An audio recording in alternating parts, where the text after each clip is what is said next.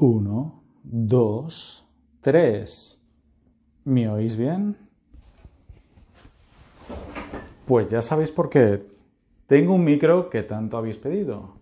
Hola barroquista, ¿qué tal? Pensaba que este día, sinceramente, nunca llegaría. El día en que tú y yo estaríamos en desacuerdo en casi todo lo que dijiste en el anterior pasquino. Y mira, yo te aprecio lo sabes, pero creo que en el anterior o fuiste muy naive o fuiste muy optimista. Vamos a empezar por los platos fuertes. ¿Va? Tema de evoluciones. Eh, no, yo estoy en contra de que se devuelvan los mármoles del Partenón a Grecia. Y me diréis, ¿por qué? Efectivamente, lo mejor sería tener el arte in situ, pero nunca ni siquiera devolviendo los, mármoles a Grecia, los devolverían al sitio al que pertenecen, que es el frontón del Partenón. Lo meterían en, el, museo que han hecho ad hoc para él y sería pasarlo de un, de un museo a otro, que vale, que en vez de estar a 5.000 kilómetros estaría a 500 metros, pero sería un ambiente artificial del que no tiene ninguna tradición sería, desde luego, volverlo a quitar de su contexto para ponerlo en otro diferente. Además, eh, yo tengo un problema gordo con esto de las devoluciones, que es que tú hablas de la ética, a pesar de que se cumplieran las leyes, pero yo creo que los países y las grandes instituciones tienen que cumplir la ley y ya está. Eh, evidentemente hay ciertos gestos que podrían ser buenos, pero eh, a mí me encantaría tener una exposición temporal de los mármoles en, Grecia. Me parecería fantástico. Pero eso es propiedad de, Inglaterra. Inglaterra tiene el deber de cuidar de ellos. Y me parecería increíblemente raro que los permitieran salir del, país. Yo, si fuera mi, mi decisión, yo no los dejaría salir del país porque son un recurso tan valioso que incluso solo el transporte mm, pienso que los pondría en peligro. Ya ha pasado más de una vez con piezas mucho menores que no se han dejado salir de España mismo. Los mármoles del Partenón son parte de la, historia de Inglaterra, igual que la piedra roseta. Por muy egipcio o griego o de muchos sitios que sean originalmente, esos objetos han pasado por una historia y ahora somos herederos de esa historia. Y yo no soy muy amigo de las devoluciones, porque una vez que empiezas a hacer devoluciones yo no sé cuándo puedes parar. Eh, poniendo el caso más extremo, más extremo, a nadie en, sus, en su sano juicio se le pasaría por la cabeza devolver los obeliscos que pueblan Roma a Egipto. A nadie. Y esos sí que fueron botín de guerra y de ocupación. Claro, clarísimo. Además que alardeaban de ello. Nerón y esta gente los cogía de, de Egipto porque era suyo y los ponían en su circo romano porque era suyo. Y, qué sentido tendría quitar ahora el obelisco del Vaticano del de la Piazza Navona o el del Elefantino y ponerlo otra vez en Egipto? Sinceramente, creo que hacen más por Egipto fuera de Egipto, como dijo Jimena, que amontonados en algún sitio en Egipto. Y eso puede hablar por los 100.000 sarcófagos que tienen el Louvre, el British y muchos otros museos. Egipto no necesita más de eso.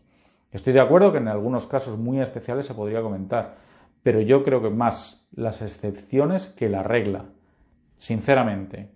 Igual que pienso que la Venus del espejo no debería estar en el Prado, que hacen más servicio a la figura de Velázquez en, Londres que en, en Madrid, y de hecho creo que hay demasiados Velázquez y que Velázquez no es muy conocido fuera de España porque están demasiados en el Prado. Ahora no me preguntes cuál quitaría porque claro, eso es una pregunta trampa. Pero es así, los artistas que tienen la obra más diseminada se conocen mejor. Sinceramente. Y yo creo que Jimena, a la que mando un beso desde aquí y le agradezco muchísimo su participación, eh, dio en el clavo con eso. También eh, vamos, vamos al tema de la moral y la ética que me preguntabas. Es un tema muy espinoso. Yo creo que tu pregunta, no es que me quieras caquear, pero estaba mal planteada. No caduca la ética y la moral de ciertos artistas porque fueran antiguos o no. Lo que tenemos que aplicar siempre es, digamos, la nuestra, pero aún así los museos, como te he dicho, no son sitios para aplicar la moral y la ética, salvo cosas muy, muy sangrantes, evidentemente. Pero los museos están para explicar. Y mira, ahí tenemos algunos ejemplos de gente que hicieron cosas que en su época estaban permitidas y ahora están prohibidas, y gente que hizo exactamente lo contrario. ¿Vale? Eh, el mejor de los mejores, Velázquez tenía un esclavo. Un esclavo con todas las letras, esclavo. No hay errores de traducción. Juan de Pareja era su esclavo y lo liberó. Pero durante muchos años fue su ex esclavo. Eso ahora es impensable, es moralmente reprobable. Y, no hay ninguna justificación para ello. Pero en su época era legal. Y nosotros no tenemos que juzgar a Velázquez por ello, sino tenemos que explicarlo. Porque también yo creo que hay muchas cosas que los museos hacen mal, que parece que todos los artistas tengan que ser superhéroes. Y no. Yo creo que los artistas eran personas humanas que hacían cosas muy humanas. Tenemos a Benvenuto Cellini, asesino, psicópata, hizo muchas cosas que hoy mismo darían espanto porque en su propia época ya daban espanto. Caravaggio, aquí nuestro amigo Caravaggio asesinaba, eh, cortaba penes y cosas así que ni siquiera en su época eran muy, muy bien vistas, que digamos. Y luego tenemos aquí el tema de Baltus que me preguntabas. El tema de Baltus, yo creo que no elegiste la foto bien. Yo hubiera elegido esa.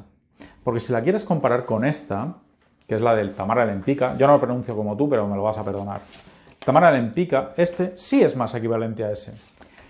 Y Tamara Lempica no es tampoco santo de mi devoción. Si os fijáis, yo he hablado de muchas mujeres artistas, pero nunca he hablado de Olímpica porque, bueno, tengo cierta cosa con la gente que quiere quemar el Louvre. Pero, y quemarlo de verdad, me refiero a llevar una lata de gasolina para quemar el Louvre.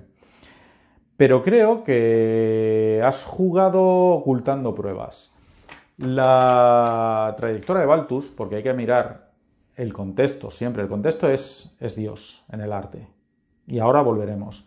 Pero Baltus sí que hace muchas escenas muy cargadas sexualmente. Algunas incluso bastante explícitas. No en, en plan pornográfico, pero bueno, con desnudos muy, muy, muy, digamos, evidentes. Tamara Olímpica, yo creo que este es un retrato de su hija que es muy dado al efecto Kuleshov. Que si dices que la cría está aburrida, está aburrida.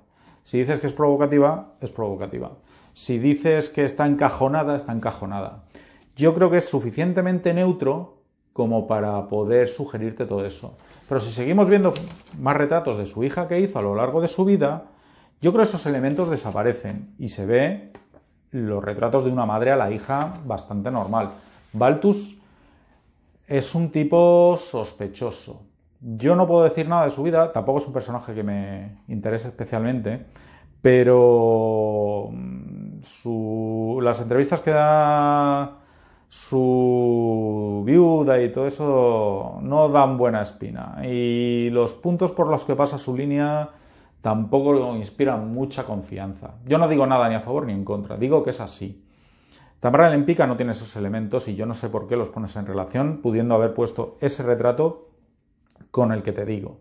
Ahora te digo, gente como Boven, gente como eh, esta gente que, era mala, mala, mala y que hacía cosas malas, malas, malas, no, la solución es quitar sus cuadros porque son muy, muy, muy importantes en la historia del arte. Cualquiera de estos son muy importantes en la historia del arte. Pero el museo, las instituciones, las galerías tienen el deber de explicarlo. Esto era así, en su época se pensaba así y ahora saca tus, tus propias conclusiones. Yo creo que eso es la labor de educación y divulgación yo creo que ocultar datos nunca es bueno. Y ahora vamos al temazo del plátano. Vale. A día de hoy, lo que ha pasado es que en el Miami, eh, Basel Basel me da igual, eh, se puso una obra de Catalán, como tú muy bien dijiste, que es un plátano pegado con cinta americana a la pared. Y la gente ya se tiraba por la ventana. Aquí también estoy en desacuerdo contigo, porque dices, no, es que, claro, los, los periódicos van al escándalo y se tienen que preocupar de esto, de esto y de lo otro. Barroquista. Primero, mira, yo creo que los periódicos han cubierto bastante bien el Art Basel Miami. De hecho, voy a poner un enlace que te dice las obras que más han vendido, cuántos artistas hay, eh, cómo se está recuperando, cómo hay un paso de, generación a generación. Así que tu premisa de es que no deberían hablar de esto y sino lo, lo otro, es que ya hablan de las dos cosas. Porque ahora, gracias a la comunicación, tenemos esos puntos de vista. Lo que pasa es que pareces olvidarte de la regla número una, número una del periodismo, que es que si perro muere a hombre no es noticia, pero si hombre muerde a perro, sí. Y es muy curioso porque eh, el plátano este no ha sido el, artículo más caro de la, exposición. No ha sido el artículo más caro ni el segundo más caro. Se han vendido una obra por 2,4 millones y otra por uno y pico.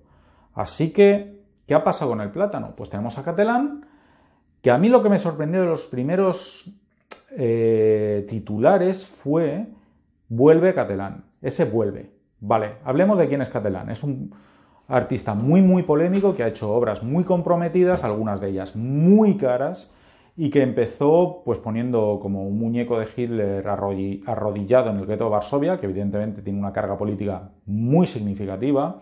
Luego se hizo muy famoso por la, figura del Papa Boitila golpeado por un meteorito, que tuvo muchísima polémica en los, círculos católicos, pero también los medios se, volcaron con ello. Luego hizo un váter de oro, que luego robaron, la gente pensaba que él podría estar detrás, luego al parecer no. Entonces, Digamos que todo era como más grande, más grande, más grande, más grande. Bien, luego se presenta aquí y decide dar una patada en la mesa diciendo, no, voy a poner esto, un plátano pegado en la pared. De hecho, es un plátano real que he comprado en este supermercado. Y yo dije desde el principio que a mí me parecía una obra barata. Y la gente me dijo, wow, pero si es que un plátano te vale un euro o menos. Así que con 120.000 euros, que es 120.000 dólares, que es lo que te ha, costado la obra, y al parecer se han vendido dos y estaban negociando otra, con un museo, eh, pues claro, con 120.000 dólares te puedes comprar 120.000 plátanos.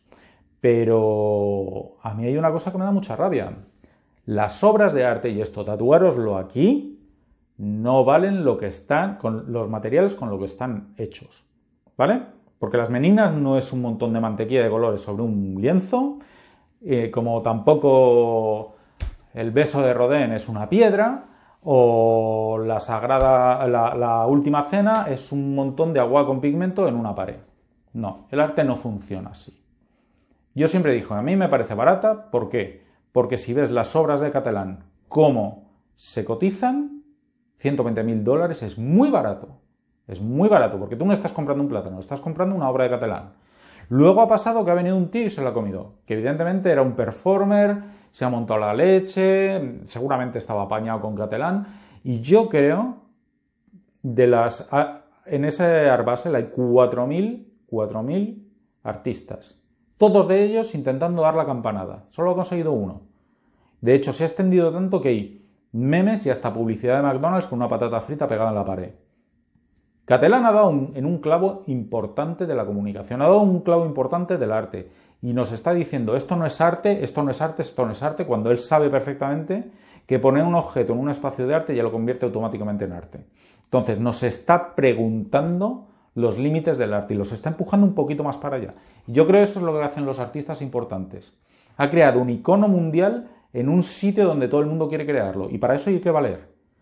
Así que bueno, eh, yo creo que tú decías, no, es que los medios de comunicación se van a posicionar. Y yo creo, sinceramente, que hablar del plátano posiciona eso. Es como los mapas que le gustan a nuestro amigo Kevin. Los mapas nos sirven también para ver dónde están las fronteras. Y yo creo que esto nos enseña dónde está la frontera del arte. Y está lanzando unas preguntas muy interesantes sobre lo que es los límites del arte o sobre hacia dónde va el arte. Y a mí eso me interesa, más que el valor económico o más que la performance o más de lo que pueda ocurrir, porque esto evidentemente no ha acabado. Y bueno, ya un último mensaje es que muchos me preguntáis que si esto es amparte, no es amparte. ¿Sabéis que odio esa palabra? Porque el arte puede ser mejor y peor, pero el arte no puede ser no arte. Y el que os diga eso, el que os diga que algo es parte, seguramente es porque os quiera vender algo. Y bueno, espero que os haya gustado el vídeo y la pregunta de todas las semanas es, eh, bueno, tú me has hecho una muy difícil, así que yo me voy a portar bien y te voy a mandar una muy, muy fácil. Barroquista, ¿crees que la inteligencia artificial puede crear arte o no? Adiós.